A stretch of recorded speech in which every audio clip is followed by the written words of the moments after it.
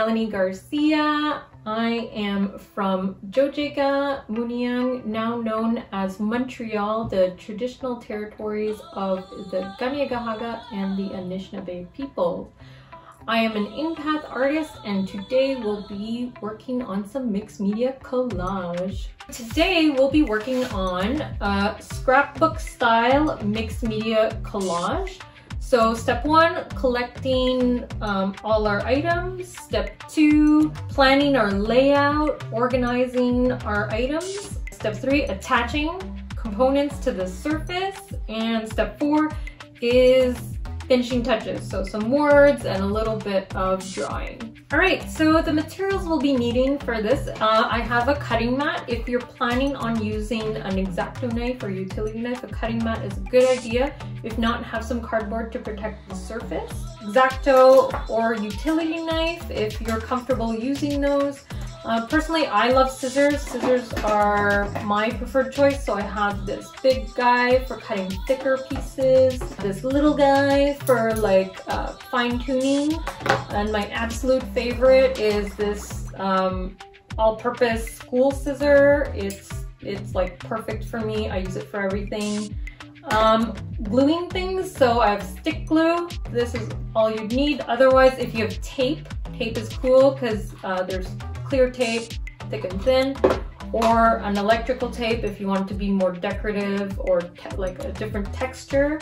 And what are we gluing onto? Sometimes I work in my sketchbook or otherwise any paper will do printer paper, line paper, and today I have some construction paper, so that's what I'll be using. Drawing materials, so we got some markers, some pens, pencil, pencil crayon, pastel. Um, what is this? I don't know, super thin Sharpie. So whatever you've got, like, it's great. Just anything to scribble, scrabble, draw, write with. So preparing your workspace, um, I like working uh, at this desk or at a kitchen table, somewhere where you can spread out your materials and everything is at hand. Also, safety tip, if you are working with an X-Acto or um, a utility knife, again, always keep the cap on when it's not in use and the blade retracted when um, you're not using the tools. What's going in this collage? Well, a great place to start is looking around the house to see what we can destroy, to create, but responsibly. Any kind of 2D material, flat, that can be glued down. So I went through my recycling and found a couple things.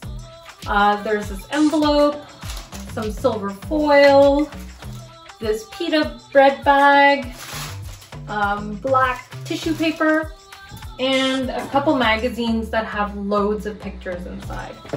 You know what though? Maybe we need to have a little bit of the outdoors in this. Let's go outside. Okay, so we're outside. Um, I'm in this little patch of nature, not too far um, from my house. I brought uh, some scissors with me and I'm just gonna look at my feet and see what we got. We have this little beautiful leafy thing. Snip, thank you. This is super beautiful. I like you. Thank you so much. And Snip, I'm gonna grab some of these guys. So this is what we've got. That's pretty easy. Let's take these inside and uh, add them to our collage.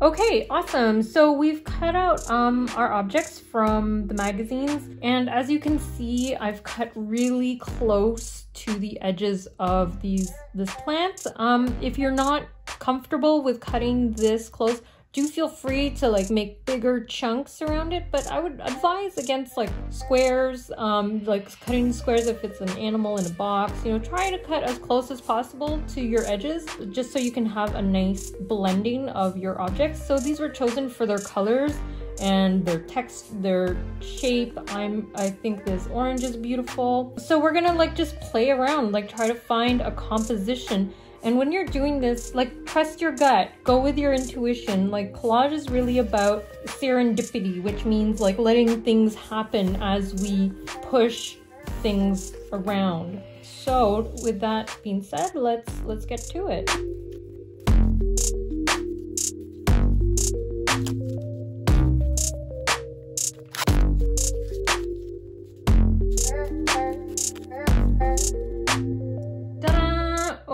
Okay, so I think this is our final layout. Da -da -da um, I think I'm really happy with this. I was playing with so many things. I tried this flowery thing. I tried some this silvery. Ooh, that looks cool, but I don't want it anymore.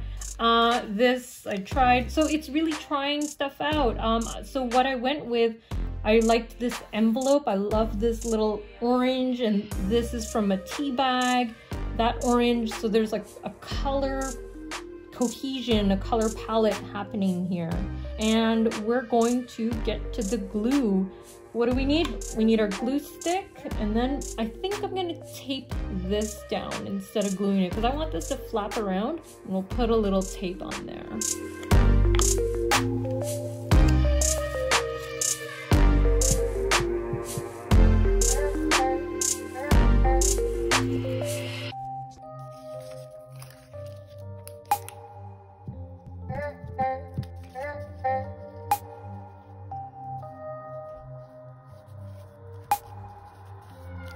Alright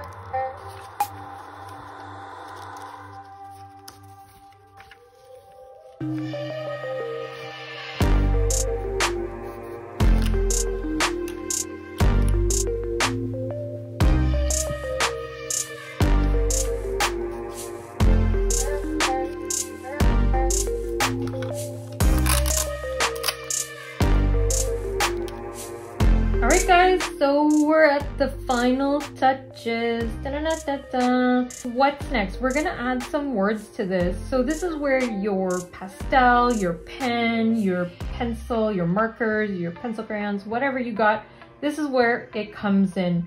Um, we're gonna look for inspiration of what kind of words to write on this. So I'm looking at this, the shape of this leaf, it's or this plant. It looks windblown, so I like the idea of this movement being windblown. And it looks like this person has a pen, so maybe I'll put the word windblown here. And then I was just looking at the cover. I just glanced over the cover of the magazine and it says, we are not alone. And I was like, okay, I was like, okay, windblown, but not alone. I was like, I'm feeling that. This feels a little hopeful and kind of positive. Um, but other inspiration can be from song lyrics um, of your of a favorite tune. Um, if you if you're into journaling or writing poetry, I would pull from those as well, or any kind of feelings that came up um, while making the collage. If you wanted to jot that down, um, by all means, uh, express yourself. So I'm just grabbing, uh, this is a charcoal pencil. It's super old. Um, and I'm gonna write the windblown here. So here we go. Woo! Don't make a mis don't make a spelling mistake.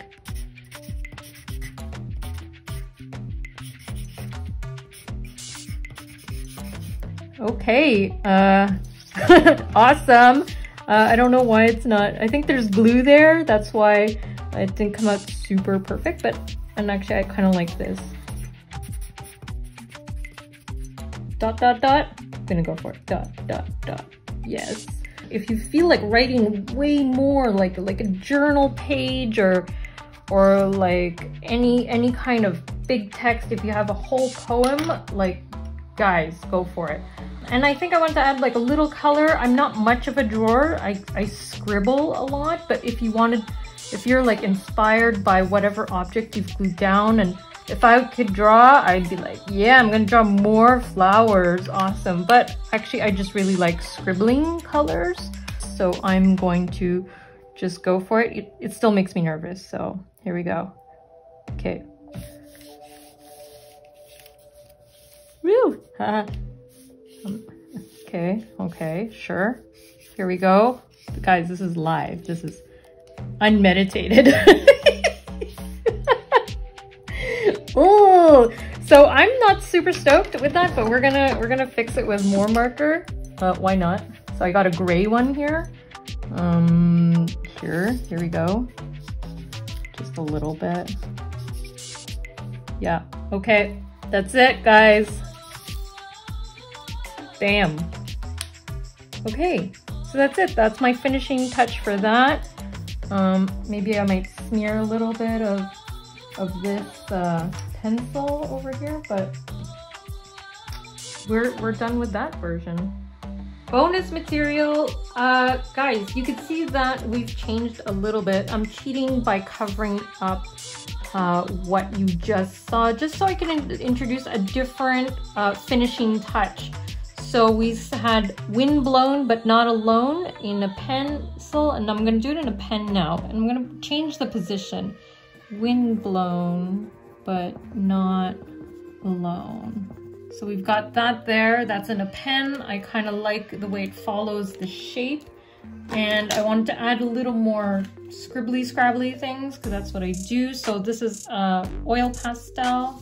We're just gonna go like that. Kind of looks like a tea bag bit. I'm feeling that. Maybe a little bit of the past, like a black oil pastel. Bam the end. There's another variation, just with different materials. So that's Mixed Media Collage. Subscribe and check out more tutorials on the YouTube InPath channel. Thanks so much. Hope you enjoyed this project.